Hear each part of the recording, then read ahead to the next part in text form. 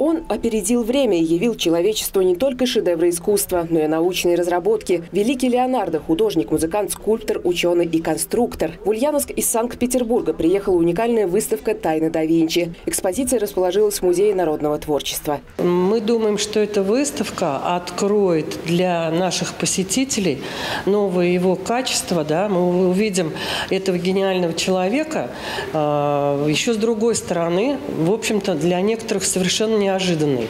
Более 60 экспонатов, в числе которых и чертежи, выполненные зеркальным письмом в сопровождении иллюстраций. Мастера из города на Неве создали копии сохранившихся изобретений. Макеты изготовлены по эскизам Леонардо. Это военная техника, прообраз будущего танка, самолет и трехзарядное скорострельное оружие. Полагают, что именно оно стало прототипом современного пулемета. Также есть и гражданские разработки. Всевозможные модификации крыльев и осветительных приборов для театра. Водолазный костюм, который по задумке автора должен быть изготовлен из водонепроницаемой кожи. И, конечно же, знаменитый велосипед, на который так сильно похожи его потомки.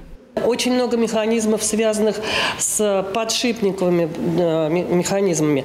То есть то, что, э, казалось бы, ну, э, должны делать инженеры, да? То есть он был еще вот и инженером. Гений эпохи Возрождения упростил жизнь человечеству и даровал шедевры искусства. Во втором зале представлена инсталляция по мотивам картины «Тайная вечеря». Восковые фигуры в человеческий рост, Христос вместе со своими учениками. И совсем рядом улыбается загадочная Джаконда, окутанная мифами и легендами. Компанию им составил сам да Винчи, погруженный в создание всемирно известного полотна. Экспозиция будет работать до 3 декабря. Напомню, Музей народного творчества находится на втором этаже Дворца культуры губернаторский. Виктория Черкова, Марат Мигдиев. Улправда ТВ.